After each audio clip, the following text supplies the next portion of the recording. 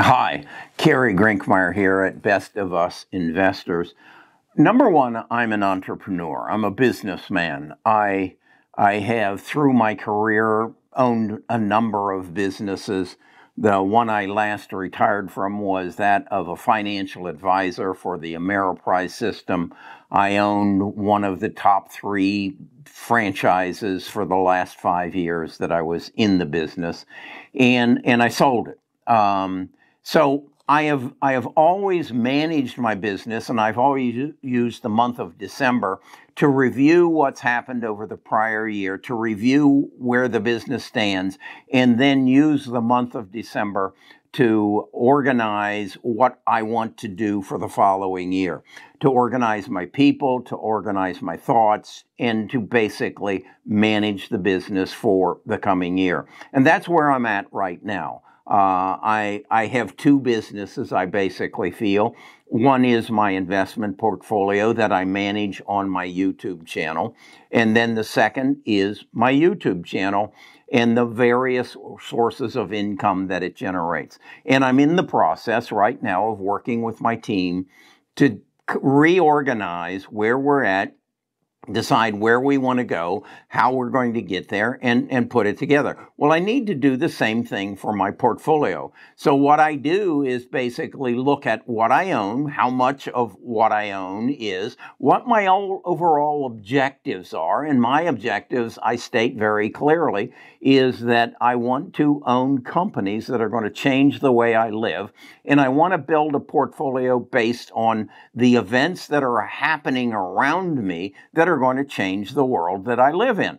And so I pretty much focus on what I believe is a revolution in our medical industry, moving from medical care to medical cure, which then takes me to genome sequencing and genome editing, which also takes me the in, in, injection of artificial intelligence into medical science. I also believe that uh, we have a cybersecurity issue that we've got to take care of. We have a supply chain issue that we have to take care of. And then we have a metaverse that is going to change the internet that I live in. So I own stocks all based on those four uh, elements of where I think the world is going. Uh, I don't buy dividend stocks. I don't buy um, some of the stable blue chips of of the industry. I don't really depend on the stock having a profit at this point. I'm looking for growth. So what I do in December is make a, take a list of all of my stocks, and I've just done that, and what my holdings are, and ask myself some basic questions on each one. Why do you own it? And what are is its growth potential? And what do you believe it's going to do over the first quarter and the second quarter of this year? And then uh, thus managing my expectations so that I don't get all hung up on big red days or a sequence of three or four red days in a row. I don't panic because I understand why I own what I own and what I expect of it in a period of time, and thus I can review it and make any changes in, in my plans. So that's what I do. Now, this is not financial advice. This is just me sharing how I manage my portfolio. I've been doing this for a number of years. I've got some insights that maybe you don't have, and maybe I can help you. And that's what my goal is with this channel. Number one, to make good financial decisions for myself and to help you make good financial decisions, to keep more of what I make by understanding the tax code. I'm going to do a video also this week because I'm going to capture some losses and I'm going to do some tax management relative to my portfolio. And then the number one goal is to build family wealth. For a long time, I have believed I was put on this earth for one reason and one reason only, and that is to make the world a better place and to make it a better place for those people who follow me, meaning my family. So I strive to build family wealth. And, and that wealth comes in the form of financial as well as knowledge. And I share my, my, uh, my knowledge with my family as much as they're willing to take and that's part of my life. But I'm not a financial advisor at this time. I sold that business in 05 and left it to someone else. So let me get that out of the way and then let me show you what I want to do and with and share my plan for the coming year. Best of Us Investors presents Kerry Grinkmeyer.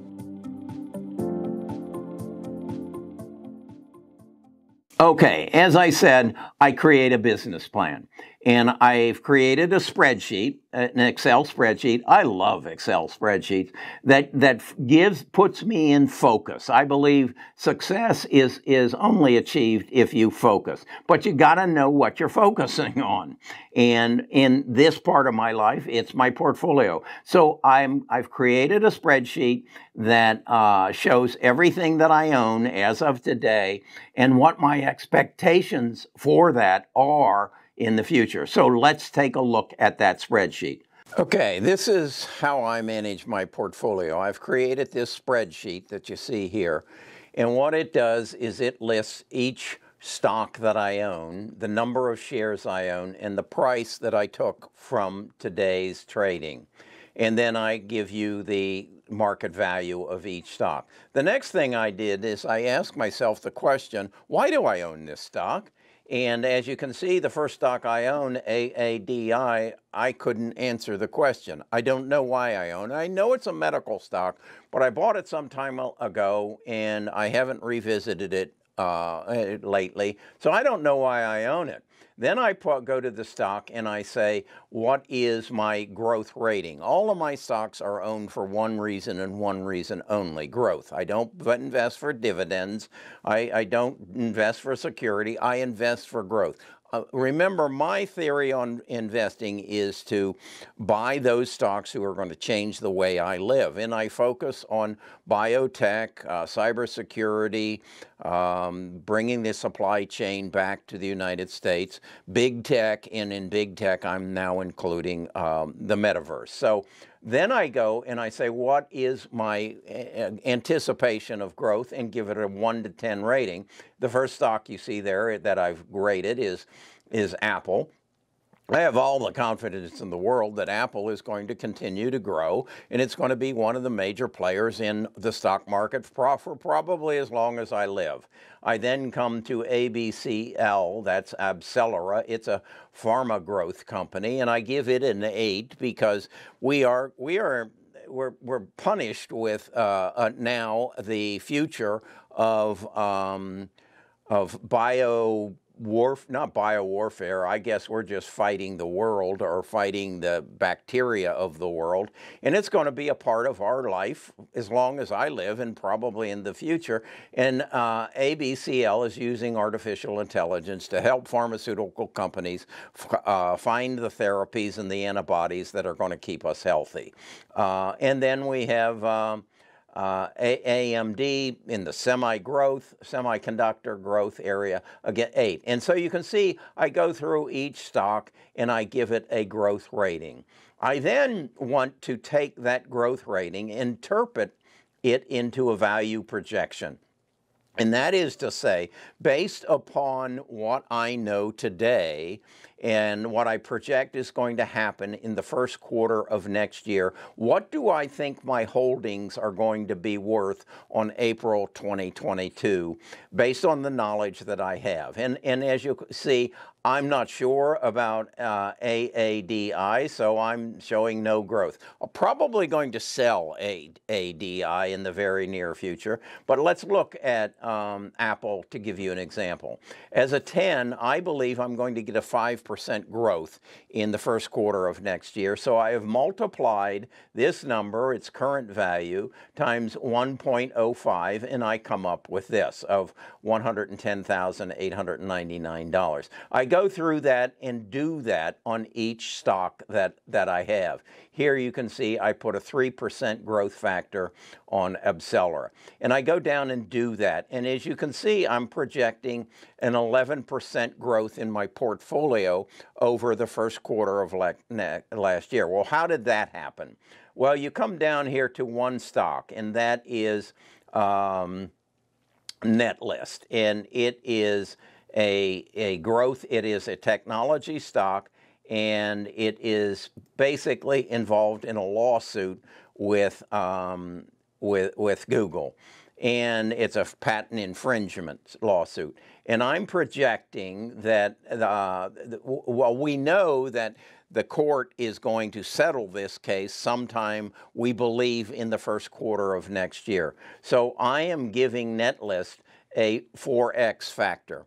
I believe that the price is going to go from where it is now at about $7 a share to $28 a share in, in the first quarter. And that's what, that's what gives me this 11% growth in the first quarter of the year. I then believe that Netlist will, will continue to grow, but more at a 5% rate because I think at that point, big money is going to recognize what Netlist is and that it has another patent that is very important to the uh, to the database companies that is Amazon, Google, uh, Microsoft, and and Apple, and they're they're going to be using a chip that that uh, Netlist makes. So that's how I then project the growth in my portfolio. Well, what's nice about this is uh, I can monitor it on a monthly basis. So January the 1st, I'll come back and I'll say, Kerry, do you want to change any positions here? Probably before January 1st, I'm going to sell a couple of these stocks. As you can see, those that I have a question mark, I'm, I'm going to make a decision, yay or nay on it. Another one that's in here is BCRX. Uh, I have it a five rating. It's another pharma growth company.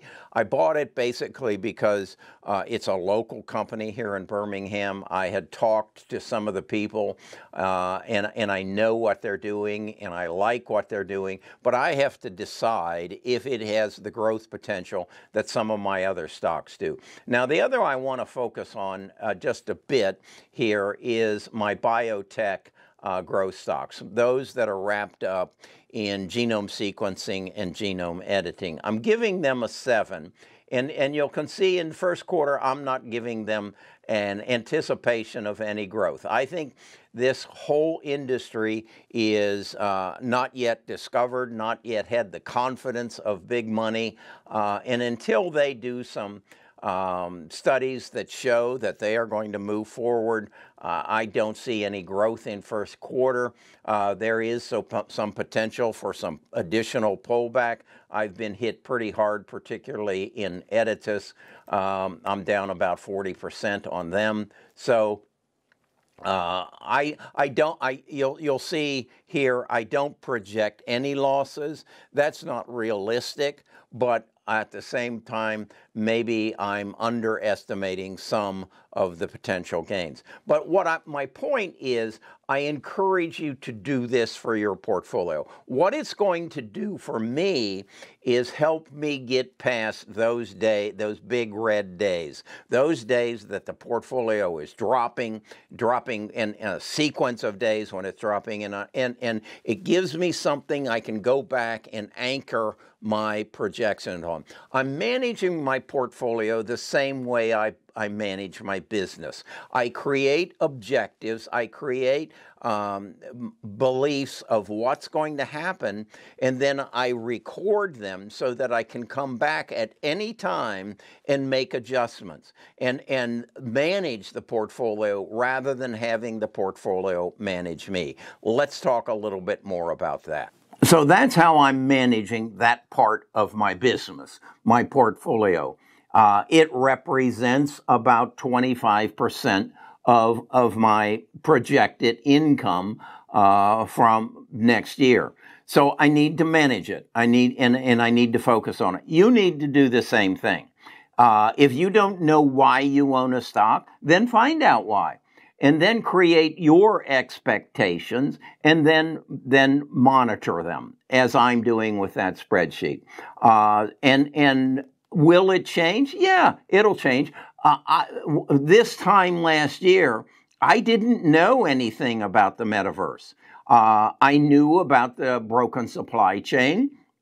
Uh, I knew about cybersecurity, so some parts of it, and I certainly knew about uh, our medical system being broken, but I didn't know about the metaverse. Do I think something will show up um, in 2022 that is going to take a my focus in another direction? Of certainly I do. The world is changing so rapidly that we can't just put blinders on and say, uh, "That's all I'm going to do." I'm only going to focus. Something is going to change, and something may change that will take one of the areas that I'm focusing on and say, that's a mistake. You need to move somewhere else. But I, I have a multiple parts of my portfolio and I need to look at each one of them separately, set my expectations, put my goals together, and then manage it throughout the year. Okay? Not on a daily basis. You start managing on a daily basis and, and reacting to daily activities, uh, and you're going to go crazy.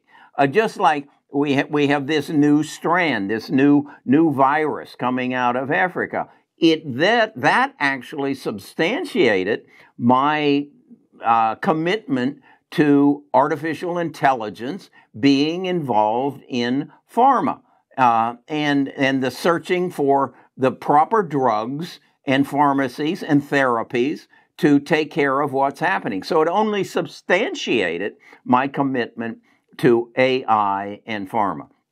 So I believe I have to pay attention. I watch the evening news every night, so I know what's top of mind. I watch CNBC every morning, so I know what's of top of mind of the people that I am literally competing with uh, to make money in the stock market.